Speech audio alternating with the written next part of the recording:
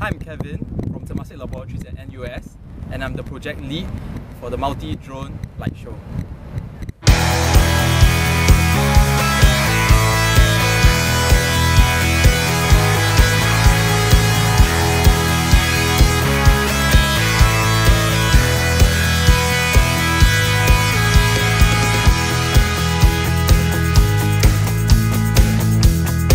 We're currently at Gardens by the Bay uh, for the Singapore Future of Us exhibition, where the multi-drone light show will be performing.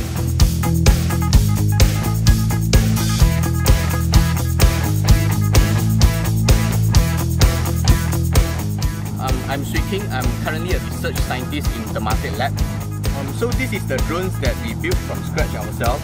Um, the hardware and also the software of the drones are all uh, fully self-customized